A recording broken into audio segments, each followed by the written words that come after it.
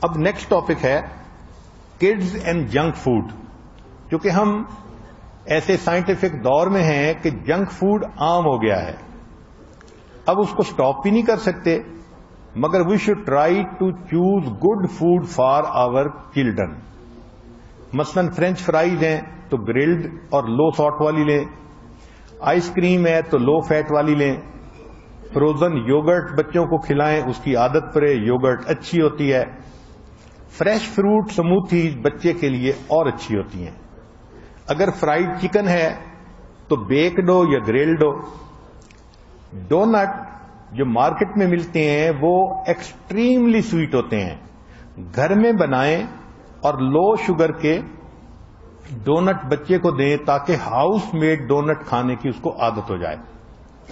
Chocolate بچے کو hyper active بنا دیتا ہے۔ لہذا چاکلیٹ ڈرپ کوکیز دیں۔ ہوں کوکیز، مگر ایک لیئر چاکلیٹ کی ہو تاکہ زیادہ چاکلیٹ اس کے منہ میں نہ جائے۔ جیسے vanilla water, fruit and caramel dipped چیزیں ہوتی ہیں۔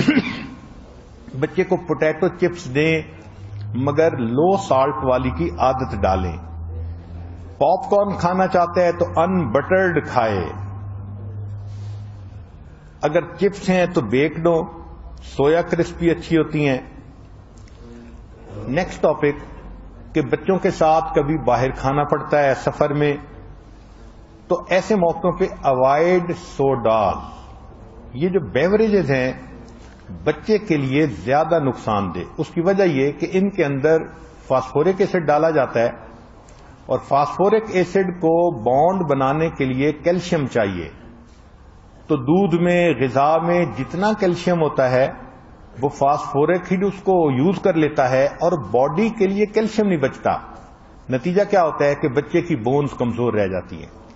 بلکہ اگر ڈائٹ میں کیلشیم نہیں ہوگا، تو بچے کی بون سے کیلشیم لے کر وہ فاسفورک ایسڈ بانڈ بنائے گا۔ تو اپنے ہاتھوں سے اپنے بچے کو ویک کرنے والی بات ہے۔ پھر چکن نگٹس جو ہیں، ان کو حت الوسا اوائڈ کریں کہ بہت انہیلدی پارٹس جو ہوتے ہیں چکن کے، وہ انہوں نے اس میں ڈالے ہوتے ہیں۔ اس کو کرش کر کے ٹیسٹ تو بنا دیتے ہیں۔ But you do not know کہ اس کے انگریڈینٹس کیا ہیں۔ اگر آپ دیکھ لیں تو کبھی ہاتھ بھی مت لگائیں۔ فرائیز کو سکپ کرنے کی کوشش کریں۔ البتہ چھوٹا بچہ ہے تو اس کو کیرٹ دیں، کیوکمبر دیں، گریپس دیں، فروٹ سیلڈ دیں، تو یہ چیزیں اس کی ڈائٹ میں اندر وٹامن کو ایڈ کر دیتی ہیں۔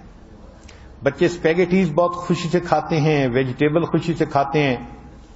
البتہ میکرونی اور چیز، یہ بچوں کو زیادہ دینا یہ نقصان دے سکتا ہے۔ بعض بچے کھانا چھوڑ دیتے ہیں۔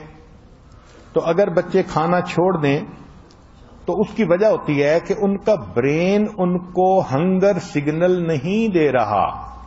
ان کے پیٹ خالی بھی ہوتے ہیں، مگر کچھ نہیں کھاتے اور ماں کے لیے پرابلم ہوتی ہے۔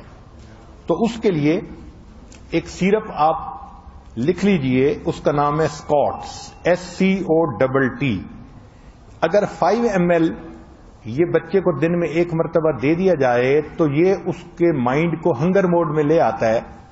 اور وہ بچہ جو ایک لکما نہیں کھاتا تھا، وہ بڑے شوق سے بیٹھ کے فل ہو کے کھانا کھا لیتا ہے، یہ ایک اچھی چیز ہے۔